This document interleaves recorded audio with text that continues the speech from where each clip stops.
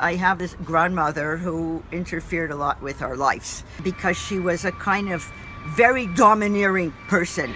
Okay, Like criticizing my mother, lived with us for 10 years of our lives. For years, I thought of, of this woman and how I hated her. And I said, you know, I, I want to get this hate out of my system. I cooked up the title Mad or Bad, and the back of the book, I, I added sad. Mad or bad or sad. She was born in Russia. She had to escape the pogroms. Then she went to China with her children. She was in Shanghai. Oh, my father had said he went to a boarding school in Shanghai, an English school.